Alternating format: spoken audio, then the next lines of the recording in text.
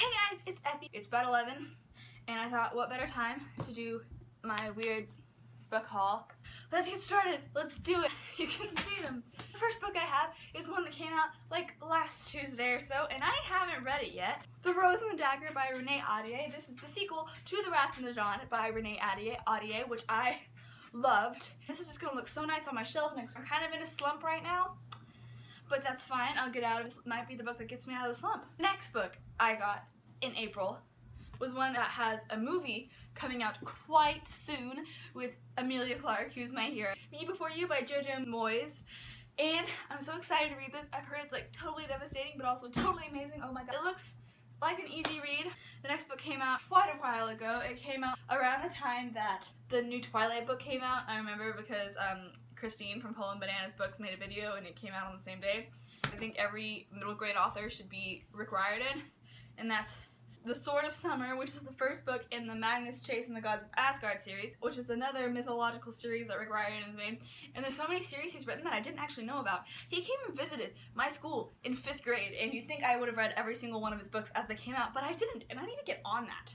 The next book is one that I am so excited to read, and I wanted to read this book since I read Carry On because I think what she did was genius, and that is Fangirl by Rainbow Rowell because she wrote Carry On about the story she wrote in here, and it's it's crazy. The next book I bought, I bought for school, but hey, I still acquired a book, and that's A Separate Peace by John Knowles. You can already tell I've been reading it because my highlighter's in there and I'm reading this for school, but I'm hoping I'll like it anyway because sometimes I actually like school books.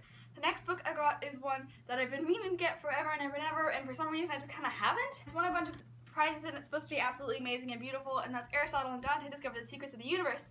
I finally picked it up. I ordered it. I ordered like five books on Amazon with my Easter money. I'm so excited to read this. It's supposed to be beautiful and amazing and uplifting, and I'm, I'm ready. The next book is another one I've been meaning to read for about a thousand years and I couldn't find it in hardcover at Barnes & Noble. Actually, I couldn't find it anywhere in Barnes & Noble. The Kiss of Deception by Mary E. Pearson. I am ecstatic that I got this book and it's as pretty as I was hoping it would be and it's in hardcover. The next one is yet another I've been meaning to read forever and this is one that they didn't have in hardcover at Barnes & Noble and they only had the paperback of like this entire series and it's so ugly in paperback I think. I just think it's so much prettier in hardcover and that's Daughter of Smoke and Bone.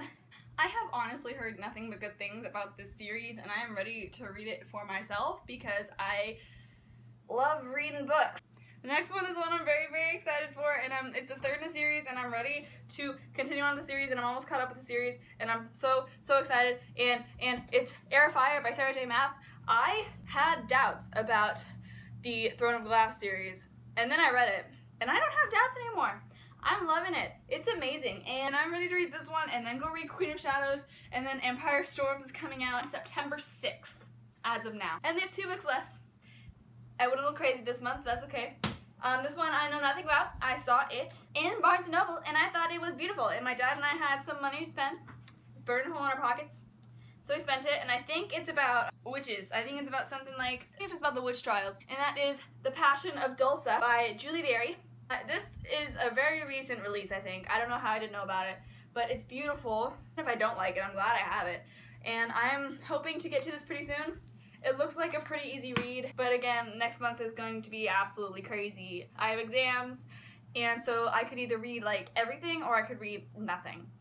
The last book I have is by Cinda Williams Chima, and I've heard amazing things about her books. She writes a lot of middle grade books, and I just wasn't feeling that right now because I read a kind of crappy middle grade book this month, and I was really sad because I like middle grade books just as much as the next person, and that is Flamecaster. This is also a very recent release. I just saw it in Barnes & Noble for the first time. I am so excited for all these books. So let's count them. One,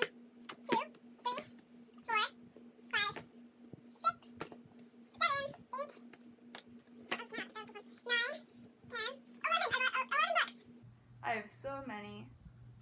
So that's all for my wee hours of the night book haul. And announcement as to my May TBR. If it happens, it's going to be pretty late. Uh, again, I think I've mentioned this a couple times in this video. Uh, I have exams this month and I have a lot of crazy stuff.